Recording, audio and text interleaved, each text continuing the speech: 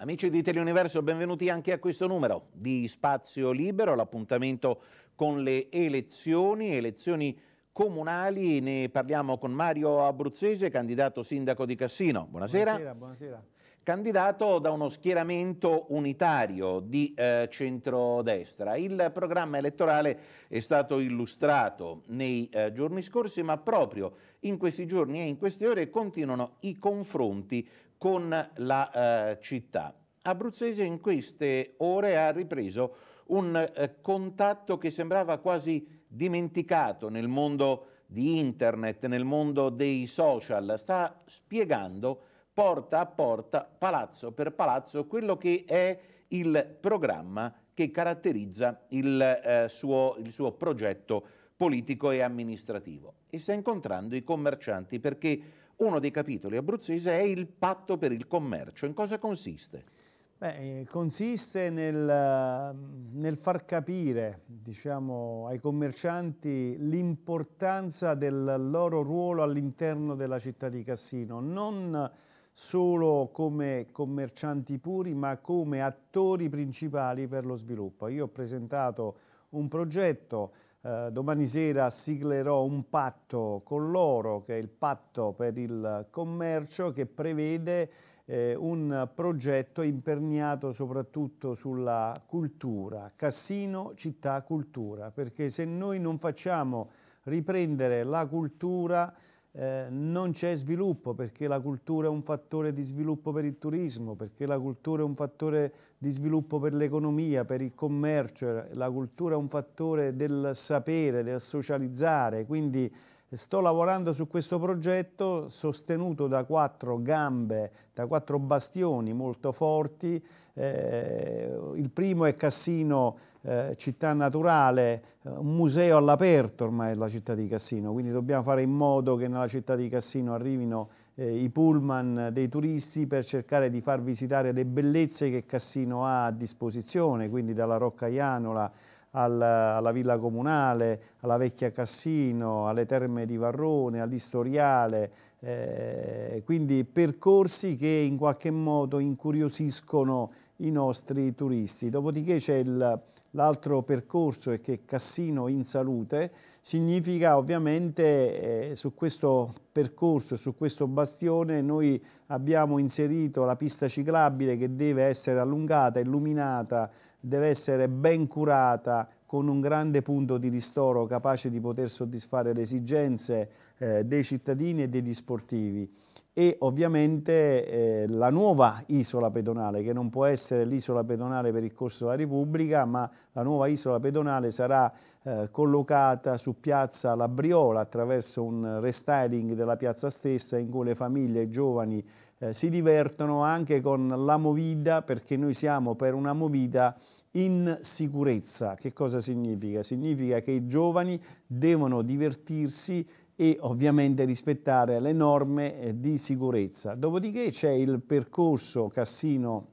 Sport e qui eh, lanciamo un messaggio agli imprenditori ma anche agli sportivi. Siamo aperti ad un ragionamento per realizzare il palazzetto dello sport, siamo aperti ad un progetto di finanza, siamo aperti per realizzare una clubhouse tennis perché ci sono imprenditori che vogliono costruire eh, questo tipo di rapporto con l'amministrazione comunale, ovviamente c'è la società sportiva di calcio che sta dando lustro alla nostra città. Per finire, Cassino Città Eventi, Cassino diventa importante se noi costruiamo e programmiamo gli eventi, per esempio su Piazza Labriola, è una piazza che deve vivere almeno sei mesi l'anno con degli eventi organizzati dai, dai, diciamo, da tutte le attività commerciali capaci di attrarre turisti nella città, ma soprattutto di far vivere il centro della città di Cassino. A tutto questo si chiude intorno ad un grande progetto che è il cartellone teatrale, perché se non facciamo rivivere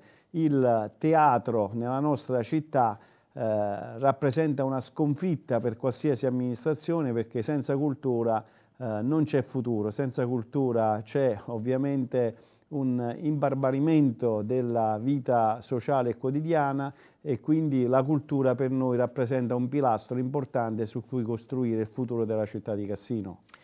Lei ha parlato anche di imprese e di sport. C'è anche un patto con le imprese. In questi anni si è inceppato qualcosa tra Cassino e il tessuto industriale perché sono mancate le politiche del livello più alto, cioè quelle che si decidono a Montecitorio e a Palazzo Madama. In qualche modo volete riannodare questo filo tra la città e le imprese. Lei parla anche di un patto per le imprese, che sarebbe? Sì, un patto per le imprese perché il, il, sindaco della città di Cassino non è solo il sindaco di Cassino, ma è il sindaco del Lazio meridionale, è il punto di riferimento, è il faro per lo sviluppo. Quindi il sindaco deve coordinare i sindaci c'è una consulta dei sindaci che va ordinata, c'è una consulta dei sindaci che va orientata e quindi questo sindaco deve avere la grande capacità di sussurrare agli imprenditori, di far capire loro che c'è un'amministrazione forte e autorevole, perché poi gli imprenditori non chiedono nulla, chiedono solo una grande attenzione, più un'attenzione psicologica, sapere che dietro di loro c'è un'amministrazione forte e questo patto ovviamente contempla una serie di impegni da parte dell'amministrazione comunale, da parte del sindaco, l'impegno a sostenere le loro attività, l'impegno a semplificare le procedure, l'impegno a creare un SUAP territoriale più ampio, l'impegno ovviamente a eh, fornire loro tutte le informazioni necessarie per quanto riguarda i finanziamenti europei, ce ne sono tantissimo, soprattutto sull'innovazione, sulla competitività, sulla ricerca, sulla internazionalizzazione. Parliamo di cose serie perché se noi non aiutiamo le imprese, se noi non sviluppiamo le nostre imprese, non creiamo ricchezza e se non creiamo ricchezza non possiamo distribuire questa ricchezza alle persone meno fortunate di noi. Io non li chiamo poveri, le, chiamo, le, le, definisco persone meno fortunate perché nella vita ci vuole anche un po' di fortuna e quindi l'amministrazione deve farsi carico di questo. Paradossalmente io parlo di impresa per parlare di sociale, perché non si può parlare di sociale se non si crea prima la ricchezza. Quindi da un lato c'è il pilastro del commercio e dell'artigianato che deve riprendere a vivere in questa città, dall'altro c'è il patto con le imprese, le imprese produttive che garantiscono da un lato i posti di lavoro che già noi abbiamo a disposizione e quindi tutelare quelli che noi abbiamo, dall'altro ovviamente creare una nuova rete di assunzione capace di poter occupare i nuovi giovani nel sistema produttivo del Lazio meridionale che è un sistema produttivo più importante della Regione Lazio. Quindi abbiamo il dovere di guardare con attenzione anche questo mondo che non si lamenta mai, che non può essere abbandonato perché gli imprenditori si svegliano la mattina e non hanno il tempo di eh, pensare ad altro se non al processo produttivo, alla difesa dei posti di lavoro, alle, alla difesa del reddito e alla, pro, e alla, produzione della ricchezza. Questo, questo è un impegno serio che io voglio sottoscrivere proprio per dimostrare che c'è un'attenzione particolare nei loro confronti.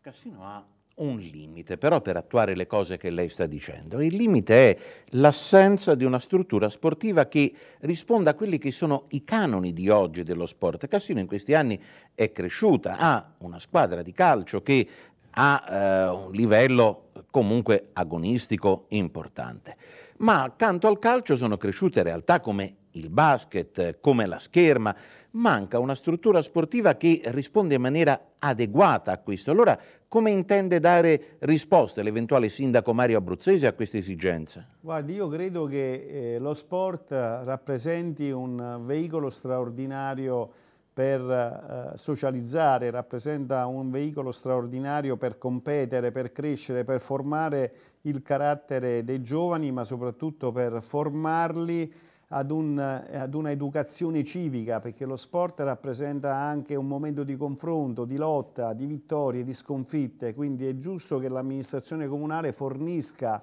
alle società sportive ma anche ai giovani indirettamente delle strutture idonee. Quindi io ho inserito nel mio programma elettorale, in questo programma elettorale che eh, realizzeremo il palazzetto dello sport perché questa città merita una struttura importante. Non possiamo pensare, con tutto il rispetto per la città di Frosinone che sta ospitando eh, il basket Cassino, eh, Cassino deve realizzare questo palazzetto. Allora io ho pensato di pubblicare una manifestazione di interesse per cercare di capire se gli imprenditori sono interessati a realizzare questa struttura di 3.000 posti, laddove sorge oggi una piscina incompiuta, demoliamo quella piscina e concediamo quest'area ad un imprenditore per eh, realizzare questa struttura a costo zero per il comune. Significa che l'imprenditore ovviamente trova il suo ritorno economico attraverso delle opere compensative che il comune metterà a disposizione e nello stesso tempo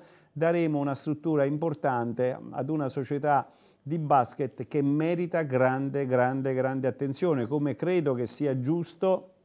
eh, potenziare gli impianti sportivi, perché abbiamo anche una, una società calcistica al cui presidente eh, Nicandro Rossi sta dando la sua anima, la sua passione, la sua voglia, addirittura ha messo da parte quasi le sue aziende per dedicarsi a questa passione, perché quando c'è passione c'è cuore quando ci metti il cuore, il cuore difficilmente si collega con il cervello, il cuore cammina da solo, eh, questa persona come gli altri presidenti devono essere sostenuti, quindi un'amministrazione al loro fianco, al suo fianco per eh, dotare meglio eh, di servizi questa struttura calcistica che secondo me merita tanta attenzione. Idem per lo scherma, cioè stiamo parlando di una disciplina sportiva che fino a qualche anno fa nessuno conosceva, oggi nella nostra città c'è grande interesse grande fermento, quindi anche su questa linea noi dobbiamo lavorare con grande interesse, come credo che sia giusto anche lavorare per dare una risposta ai tennisti del Lazio meridionale. Il tennis è una disciplina sportiva straordinaria che io pratico, ovviamente non sono un campione, mi diverto, però credo che una clubhouse a Cassino debba sorgere per eh, diciamo, mettere insieme queste persone che hanno voglia di passare del tempo all'interno di questa clubhouse con le proprie famiglie. Quindi uno sport concepito in modo diverso, uno sport concepito come momento di aggregazione e ovviamente di socializzazione, oltre a praticare la disciplina sportiva che piace di più.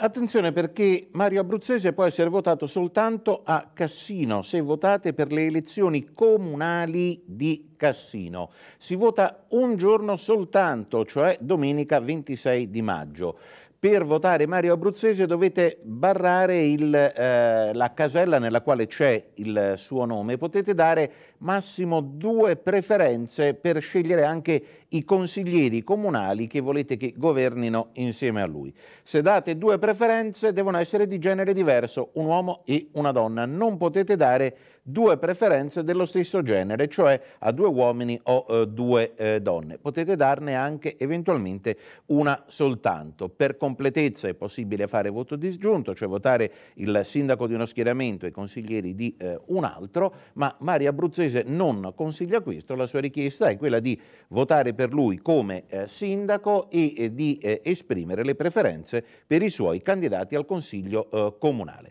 Grazie Abruzzese, grazie a voi grazie, per averci grazie. seguito. Arrivederci.